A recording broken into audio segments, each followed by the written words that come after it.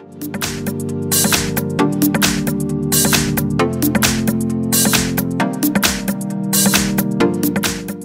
have Google Pixel XL 2 and let me show you how to use secret codes on the following device. So at the very beginning let's start by using your home screen. Here let's open the phone's dialer and let's use the following secret code. Asterisk pound asterisk pound 4636 pound asterisk pound asterisk.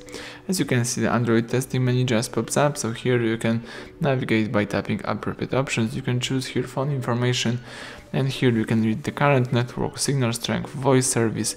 You can here run a ping test or use more key in order to select radio band, view SIM address book or view fixed dialing numbers. Let's go back.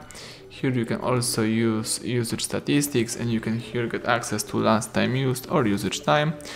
You can also go back here to open the Wi-Fi information. Here you can select Wi-Fi API to disable network, disconnect network, enable network, get configure networks or get connection info. You can also use here Wi-Fi config and you can use and read here configured networks. Let's go back. Let's tap here Wi-Fi status. So here you can refresh or start or run a ping test. Let's go back again.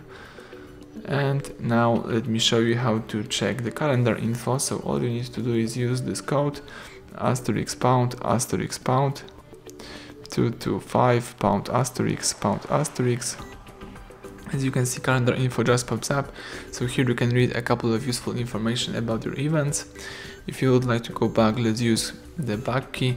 And this time let me show you how to check the google play service. So let's use asterisk pound asterisk pound 426 pound asterisk pound asterisk.